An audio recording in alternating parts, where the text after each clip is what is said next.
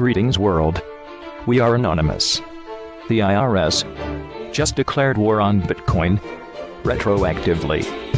This announcement that the IRS will now be treating Bitcoin as property, not currency, has serious legal implications for anyone who has used it over the past few years.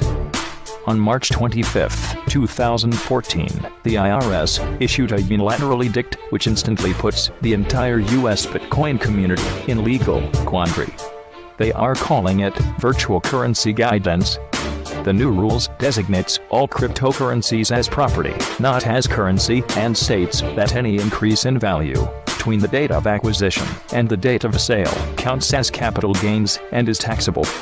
All payments using Bitcoin are subject to the same reporting requirements as normal payments, and Bitcoin mining is also now considered taxable income.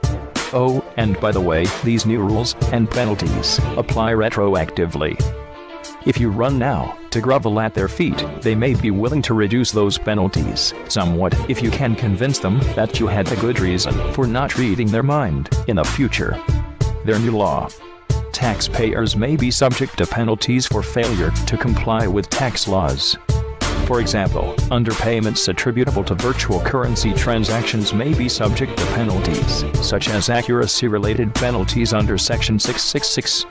In addition, failure to timely or correctly report virtual currency transactions when required to do so may be subject to information reporting penalties under Section 6721 and 6722. However, penalty relief may be available to taxpayers and persons required to file an information return who are able to establish that the underpayment or failure to properly file information returns is due to reasonable cause.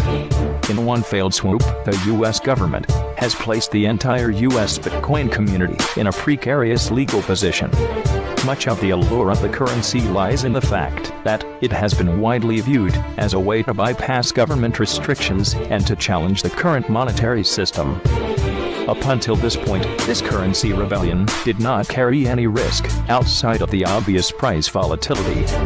Now, however, those who have bought, sold, or mined Bitcoin since 2009 have a choice either attempt to go back and trace every single transaction and corresponding price in US dollars, or go rogue and hope for the best.